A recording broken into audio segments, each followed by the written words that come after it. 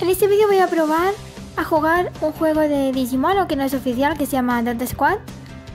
Ya lo tenía instalado, pero no había jugado así nunca en serio como con los demás juegos. Pero bueno, ahora que estamos a la espera de que reabran Digimon Links, tenemos que probar otros juegos.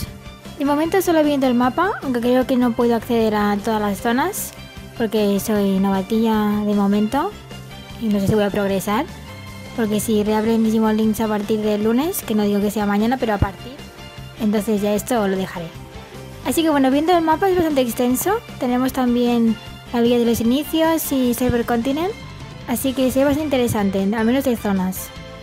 Y ahora estamos aquí en la ciudad de los juguetes, donde vemos a Mirei, que es la que nos da las misiones, por lo que entiendo.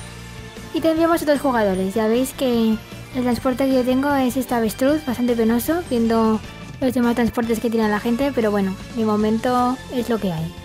Este es mi penoso equipo.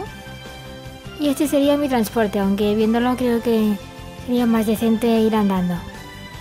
Veo que también tenemos gacha, dos opciones, uno parece más común y el otro hay Digimon. Bueno, es que el juego mezcla bastantes cosas, por ejemplo, del diseño de, los iconos de los Digimon son más de Cyber Luz y todas estas. Tenemos una especie de Digistons como en Digimon Links, así que es como una mezcla. Respecto a los modelos, aquí tenemos a Omegamon. Está bastante bien. Pitmon no se parece mucho. Y bueno, creo que tengo una jugada gratuita, así que vamos a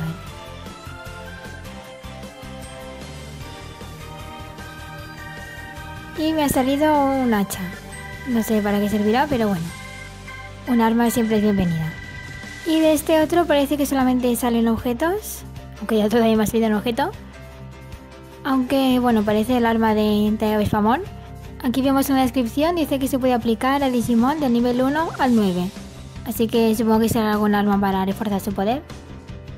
Veo que también tenemos recompensas diarias para conectarnos al juego y que nos dan Digistones y otros ítems que aún no conozco. Y parece que el día 7 nos dan un Kabuterimon, ya que según dice es el monstruo de este mes. Voy a ver qué pasa si voy al apartado de Shard. Me aparecen cartas de los Digimon. Ah, yo quiero este, ¿cómo se consigue? Bueno, de momento creo que no puedo conseguir ninguno. Menos a, a que parece que sí. A ver.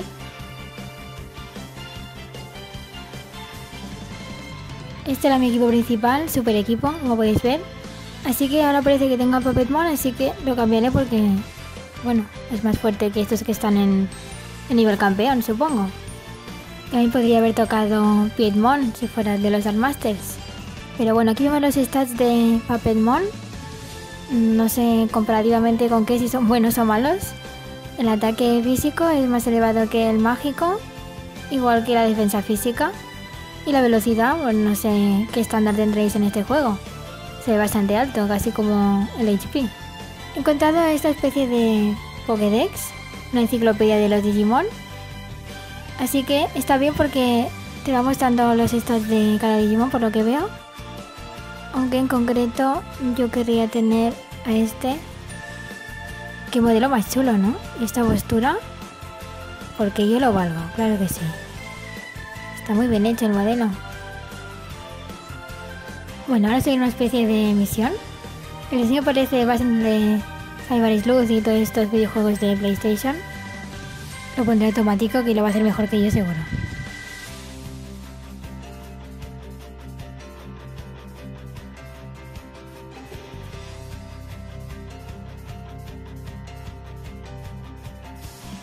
Bueno, he terminado. No sé, Papel Mola ha quedado como muerto o qué le ha pasado.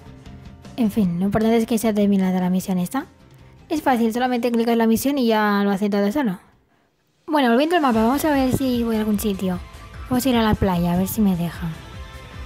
Parece que sí, pues mira. Entramos. Será una pelea, supongo que son tipo alias, ¿no? Pero la música ya he visto que muchas veces usa también la Digimon Links, así que se parece bastante. Recoge un poco de cada juego. Bueno, lo tengo lo puesto en automático. Supongo que estos son débiles, así que no hay problema, ¿no? Con unos Numemons no tendría que haber nunca un problema. Más tengo papel, bueno, que supongo que tengo que reforzarlo y darle... ¿Hay que alimentarlos?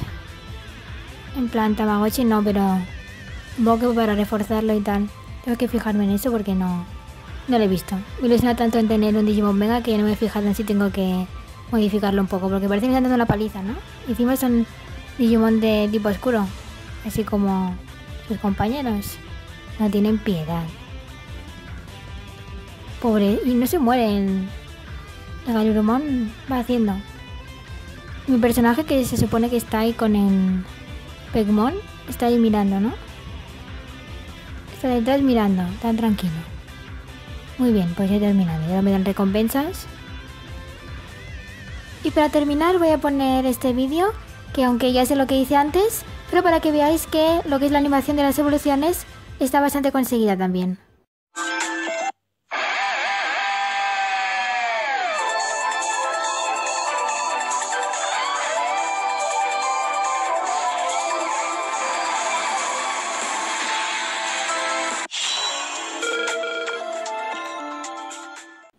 A montar un saludito muy especial a Francis MG que me pidió que lo saludara.